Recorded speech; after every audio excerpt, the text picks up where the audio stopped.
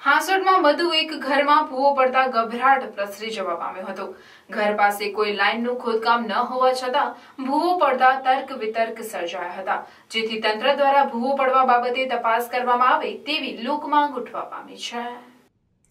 હાંસોટ ખાતે છેલ્લા એક અઠવાડિયાથી એક જ ફળિયામાં બે ઘરોમાં ભૂવા પડ્યા. ભૂવાની સાઈઝ જોતા ગભરાઈ જવાય તેવી સાઈઝ હતી. આશરે દસ બાય દસની સાઈઝ હશે. ઘરના રહીશો ઘરની બહાર ખોડેલ ગેસ પાઇપલાઇનને લીધે આ ભૂવો પડ્યો છે અને પ્રથમ નજરે જોતા એમ લાગી રહ્યું પણ હતું. પણ રવિવારે સવારે આ જ ઘરોથી થોડેક જ દૂર આવેલ એક અન્ય ઘરમાં પણ ભૂવો પડ્યો. પણ અચરજની વાત એ છે કે આ ઘરની આજુબાજુ ક્યાંય ગેસ પાઇપલાઇનનો ખાડો ખોદ્યો ન હતો. તો પ્રશ્ન એ થાય કે પહેલા બે ઘરોમાં તો નજીકમાં ગેસ પાઇપલાઇન હતી, ત્યારે આ ઘરની નજીકમાં તો આવી કોઈ લાઇન ન હતી.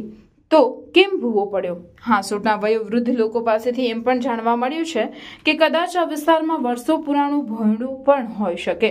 તો ભૂસ્તર વિભાગ આ દિશામાં તપાસ આદરી સત્ય શું છે તે બહાર લાવે તે ઇચ્છનીય છે.